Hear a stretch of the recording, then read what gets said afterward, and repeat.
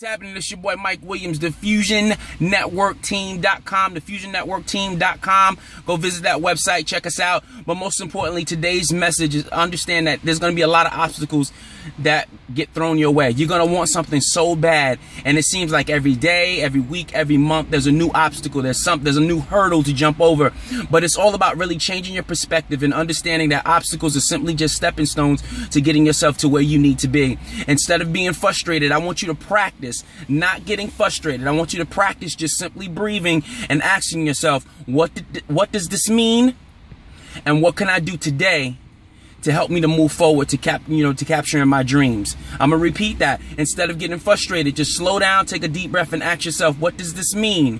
And what can I do today? What can I actually take advantage of today to move forward towards my goals? I know that this obstacle might be blocking me from doing something else but it, it, but it's only blocking me from doing one thing and not blocking me from doing another. My goal, when you really want to go, when you really want to capture a dream and you really want to materialize it, you got to understand that there will be tons of obstacles, but it's those who move forward. It's those who get over those hurdles. It's those who use those hurdles for stepping stones to, to turn them into giants. It's those people that actually capture their dreams.